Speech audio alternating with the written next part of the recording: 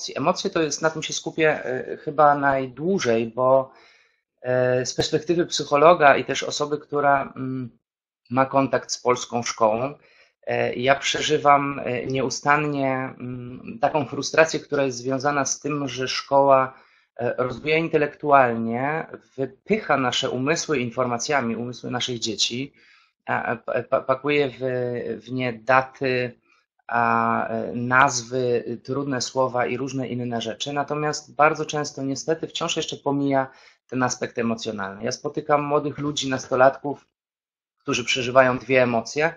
Oni się czują spoko albo niespoko, gdzieś pomiędzy nic, e, nic nie ma. A to emocje tak naprawdę decydują o tym, e, czy my w ogóle będziemy w stanie tę wiedzę, którą w szkole nabyliśmy, wykorzystać, czyli czy osiągniemy sukces w pracy. I na to jest e, wiele dowodów. E, niedawno spotkałem się z takimi badaniami, które pokazały, że inteligencja emocjonalna jest najważniejszą kompetencją menedżerską, która decyduje o tym, czy menadżer osiągnie sukces, czy nie. Ale też poza pracą, bo nie samą pracą żyjemy, to właśnie umiejętność radzenia sobie ze swoimi emocjami decyduje o tym, E, czy my będziemy szczęśliwi, czy będziemy radzili sobie ze sobą i z e, trudnymi sytuacjami, czy będziemy umieli budować konstruktywne, dobre e, relacje. Więc samo to, że filmy potrafią wywoływać emocje i my możemy o nich porozmawiać, to już jest bardzo, naprawdę bardzo dużo, zwłaszcza dla takich dzieciaków, które pochodzą z domów, w których te emocje nie są nazywane, nie są wyrażane, a nawet często nie są akceptowane. I tak jak widzicie na slajdzie, e, filmy na, nasz, e, na nasze emocje oddziałują na kilku poziomach. To znaczy jest kilka korzyści, które możemy sobie emocjonalnych wyciągnąć z oglądania filmu. Pierwszy to jest katarzis, czyli takie emocjonalne oczyszczenie, doświadczenie jakichś emocji. Wiecie doskonale, że bardzo różnie reagujemy na filmy e, i bardzo, w bardzo różnych punktach, miejscach te filmy nas dotykają. To zależy bardzo często od naszych doświadczeń. Jeżeli ja mam trudne doświadczenia, w relacji z moim tatą, to będę przeżywał poruszenie, oglądając filmy, które tego dotyczą. E, jeżeli mam w rodzinie problem alkoholowy, to te filmy będą we mnie e, rezonować i tak dalej, i tak dalej. A filmy rozwijają inteligencję emocjonalną i empatię. To jest niezwykle ważne, zwłaszcza wtedy, e, kiedy mm, mamy do czynienia z brakiem empatii czy z brakiem inteligencji emocjonalnej, kiedy dzieciaki nie potrafią nazywać swoich emocji, rozpoznawać swoich emocji i przede wszystkim wyrażać swoich emocji, e, a także nie potrafią tych emocji e, zobaczyć i rozpoznać u drugiej osoby.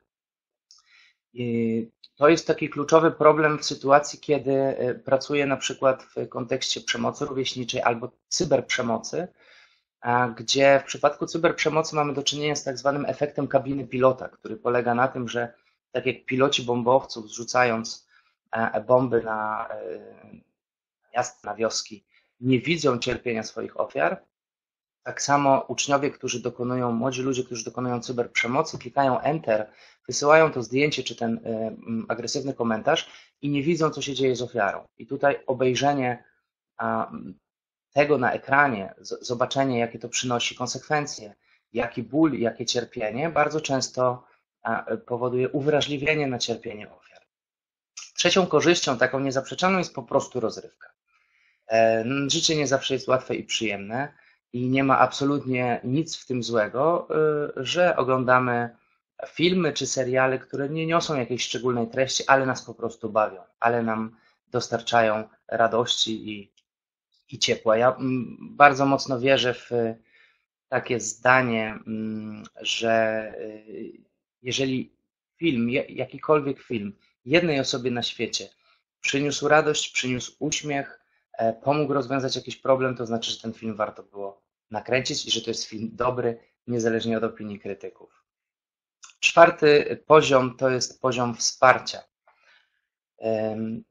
Kiedy uczeń nie ma wsparcia ze strony rodziny, kiedy uczeń nie ma wsparcia ze strony e, bliskich i rówieśników, może to wsparcie otrzymać E, z, mm, może to wsparcie otrzymać z kina, może to wsparcie otrzymać od bohatera czy bohaterów.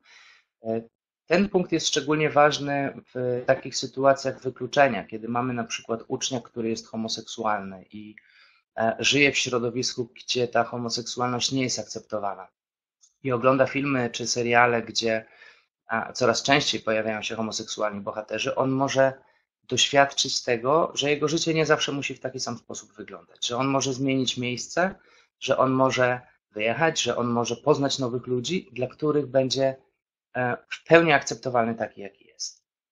No i wreszcie samo doświadczanie emocji, czyli ten poziom piąty, e, to jest poziom, który pozwala nam przeżywać, a przez to oswajać różne emocje. To może być radość, to może być wzruszenie, ale to może być też lęk.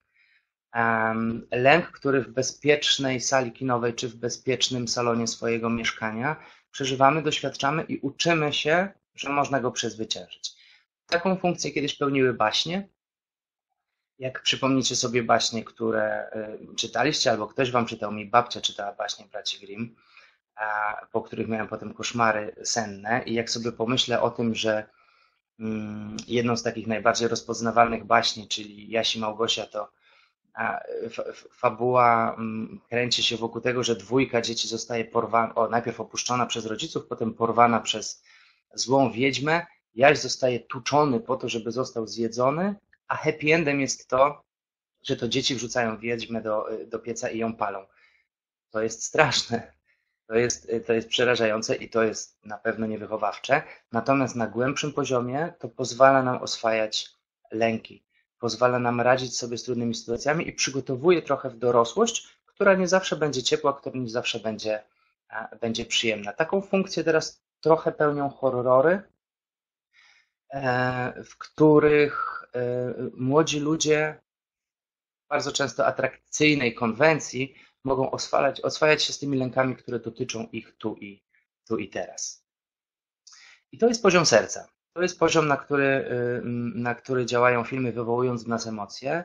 Te emocje są podstawą potem do y, konstruktywnej dyskusji, o tym będziemy mówić później, ale są jeszcze dwa poziomy, na które też warto zwrócić uwagę, bo y, na nich też pracujemy.